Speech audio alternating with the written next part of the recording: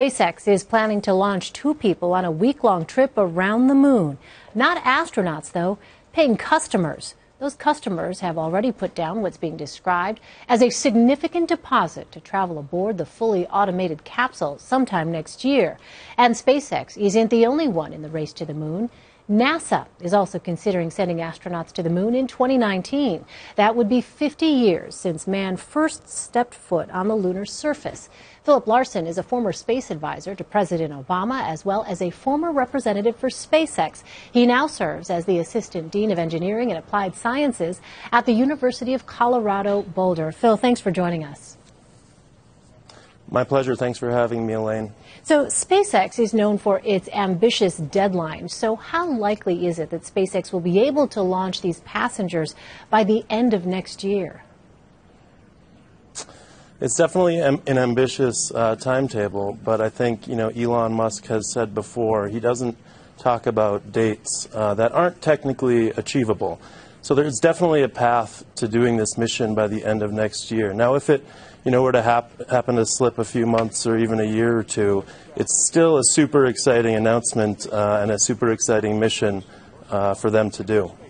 Uh, it, it, certainly would be um, fascinating to watch that unfold. But in the past couple of years, as you well know, two of SpaceX's rockets exploded, one during launch and the other during a fueling procedure on a launch pad. How safe is this mission, especially since there won't be a human pilot on board? Well, I think it's, you know, they won't do it unless uh, it passes a number of, you know, box checks on the path to this launch. They're going to make sure this is safe, and uh, there's going to be a number of launches between now and when this mission would carry out. And so, you know, SpaceX, yeah, has had challenges, uh, just like every major, you know, endeavor in space. There's, there's risk and there's, you know, difficulties, and it's a hard business, but I'm, you know, I'm pretty confident that they won't carry this mission out uh, unless it is safe. And the, the spacecraft they'll be using, the upgraded Dragon spacecraft, has a unique capability basically to save uh, the crew in the event of an issue with the rocket during launch. So I think it, you know, they won't do it unless it's, uh, unless risk is mitigated and it's safe. Well, President Trump has expressed an interest in having the U.S. space program uh, return to the moon by 2020. How has NASA responded to that idea?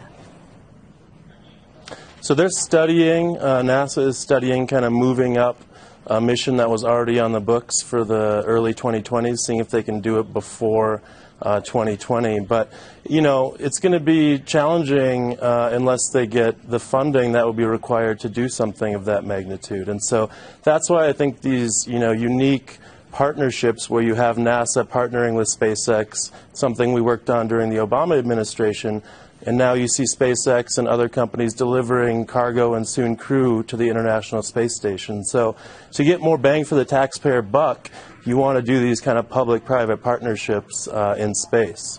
And what are the differences, Phil, between NASA's flight and the SpaceX mission? There's a number of differences. One is definitely cost. Uh, NASA's rocket that they're working on is, you know, a bit more expensive than SpaceX's launches. Um, and it also, you know, is kind of an old-ish technology. SpaceX, you know, if you've seen the fun videos of them, you know, launching a bunch of rockets, but they're also landing them, and they're soon going to be reusing them. I think later this month will be a watershed moment for lowering the cost of access to space. And so, uh, you know, with the NASA rocket, SpaceX's rocket, it's good to have multiple capabilities, but, uh, you know, I think the SpaceX Falcon Heavy uh, is, is, kind of a new and exciting technology uh, for the nation to have. Hmm. Well, this race to the moon is being described, uh, as you just sort of alluded to there, as old space versus new space. What role is NASA expected to play in the private space industry?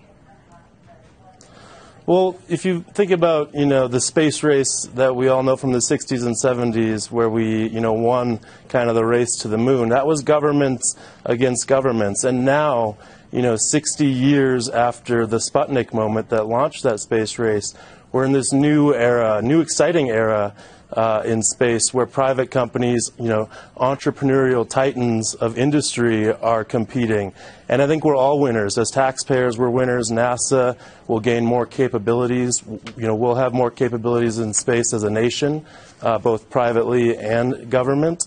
And so they, you know, one of the things we did work on in the Obama administration was using NASA uh, to partner uh, with these private sector companies, kind of acting as a venture capitalist, seeding new jobs, new industries uh, in the private sector. And, and then they get the benefit of more capabilities at lower cost. A lot to look forward to potentially in the years ahead. Phillip Larson, thanks very much for your time. Appreciate it. My pleasure, Elaine. Thank you.